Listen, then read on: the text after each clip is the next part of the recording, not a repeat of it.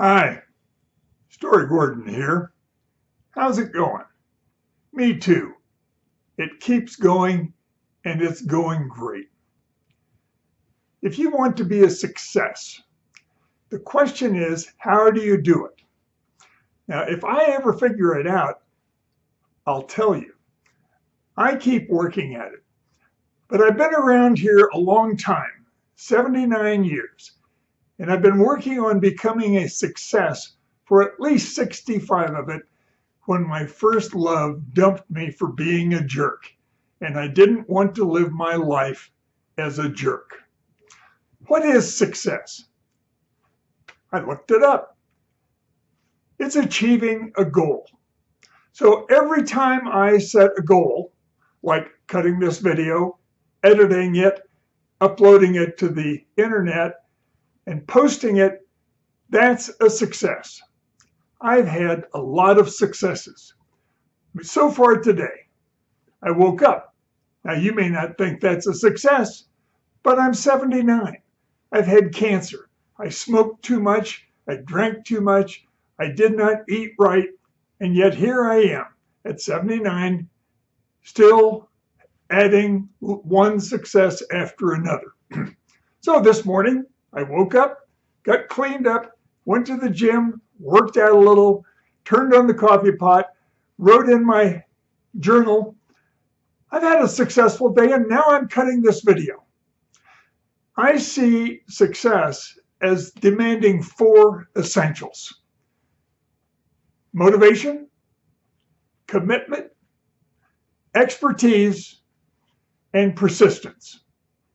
Now, motivation, people talk about motivation, and when someone discovers I was a professional speaker, invariably the first question they ask is, Oh, were you a motivational speaker? And I have to say no, but I was a motivated speaker. Motivation is simply a desire to participate. I wanted to speak. I love to speak. I've been speaking since I was 19. That's 60 years I've been a serious speaker. I'm fairly good at it. I'm not as good as I used to be because I don't work at it as hard. But still, the first essential is motivation. But how many motivations do we have? I have more motivations than I can possibly animate. So I have to pick and choose, narrow it down to the few I really, really, really want to do. Speaking is one of them. YouTubing is one of them. A Toastmasters Club is one. I've not only been speaking 60 years, I've been married 60 years. So my wife and our relationship is very high in my motivation. The second essential is commitment. Being motivated is one thing. I have been motivated to do many things in my life, but I had to make a commitment. I was motivated to be a high school math and science teacher when I graduated from high school, but I didn't make the commitment in college to pass with high enough grades to make it. So I joined the Air Force. In the Air Force, they sent me to tech school. I made a commitment to become a good student because I was married and I wanted to have my choice of duty. I overdid it. I committed myself to learning so well. When I graduated, they kept me as an instructor. Lo and behold, I became a professional speaker at 19 and spoke six hours a day, five days a week, most weeks for two years. Commitment. The third step is expertise. I had to know what I'm talking about. If you want to be a success, you need to have expertise in what it is you want to do.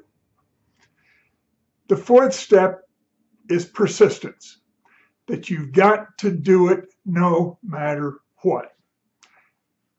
I guess the best example of that was back in 1995 when I was diagnosed with cancer. I had chemo every two weeks.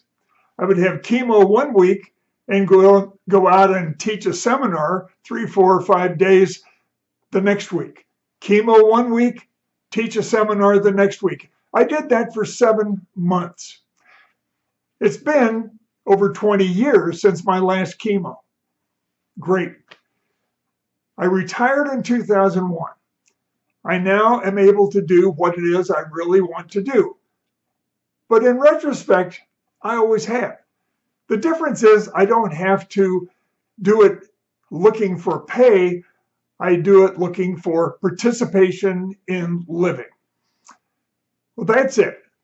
What I see as the four essentials for stellar success. How does stellar come in? Look, you're a star. What is a star? A star is a bright spot in the universe out there all by itself. And every one of us is a star. How are we a star? Our DNA. Nobody else has our DNA, unless we're an identical twin. But even then, the DNA is only the beginning of our biology. Then we have psychology and consciousness and all of our desires and everything we want to do. So stellar begins with DNA. We become a stellar success when we achieve the goals we see as more important than all others. Well, that's my little bit on becoming a stellar success. You've got it all. You've got everything you need to become a stellar success.